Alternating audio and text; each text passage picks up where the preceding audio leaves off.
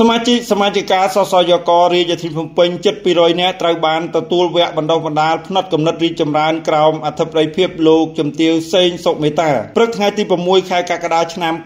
2024នៅអាគារខេមរានីទីស្នាក់ការសសយករាជធានីភ្នំពេញនៅសាលសហសិក្សាជាន់ទី2មានពិធីពិសេសបើកវគ្គបណ្ដុះបណ្ដាលក្រោមអធិបតីភាពលោកជំទាវសេងសុមេតាដែលមានសិក្ខាកាមប្រមាណជិត200នាក់មកពីផ្នែកផ្សេងៗក្នុងចំណុះសសយករាជធានីភ្នំពេញក្នុងពិធីនេះដែរលោកជំទាវសេងសុមេតាអនុប្រធានសសយករាជធានីភ្នំពេញបានលើកឡើងថានៅក្នុងការរៀបចំវគ្គបណ្ដុះបណ្ដាលនេះយើងឃើញថាក្រុមការងារគាត់បានសម្រាប់សម្រាលណាហើយគាត់ដឹងថាពេលវេលារយៈពេលនៃការបណ្ដុះបណ្ដាលនេះគឺយើងកំណត់តែមួយព្រឹកទេអញ្ចឹង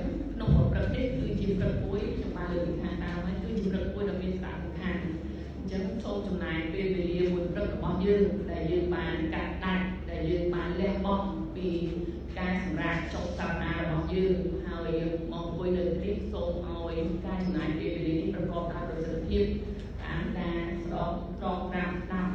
មិនមែនស្ដាប់យកតែមែនទេប៉ុន្តែស្ដាប់គិតពិចារណាហើយចូលរួមជាមួយគ្នា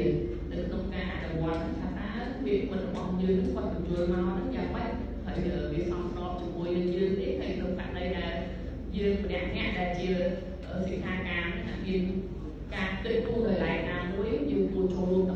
ងអស់គ្នា ជាងនេះទៅទៀតក្នុងវគ្គសិក្សាពិសេសនេះដែរគ្រប់សិក្ខាកាមទាំងអស់ក៏ត្រូវបានទទួលនៅវិញ្ញាបនបត្រជាតំណាងនិងថតរូបភាពអនុស្សាវរីយ៍ជាមួយគ្នានេះដែរលោកគ្រូហែមសាយ័ន្តបានលើកឡើងក្នុងការបណ្ដុះបណ្ដាលជូនសិក្ខាកាមជាច្រើនចំណុះក្នុងមេរៀនទី1ដល់មេរៀនទី4ដូចជា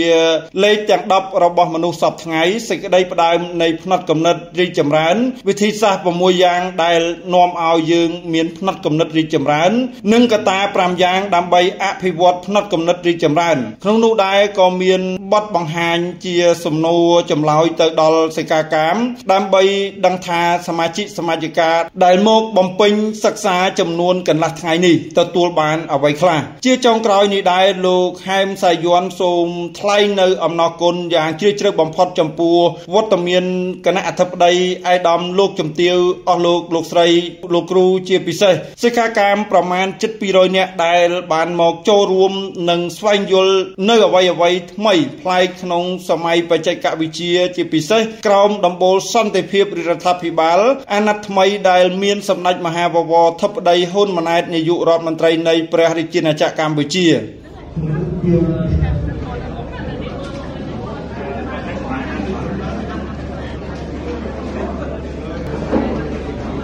សាកលវិទ្យាល័យអាស៊ីអឺរ៉ុបជំរឿនល្អបំផុតសម្រាប់ឱកាសការងារ